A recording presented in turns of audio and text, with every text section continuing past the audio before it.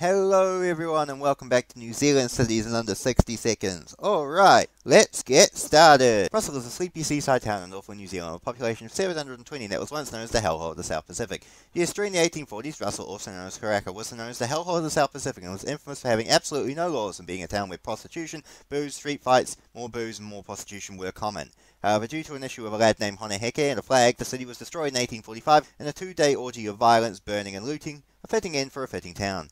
Today, however, Russell is no longer the rowdy town of its youth and has grown up to be a sleepy tourist town. However, if you walk the wandering streets at midnight, you can still hear the sounds of wild partying in the distant breeze in the town square.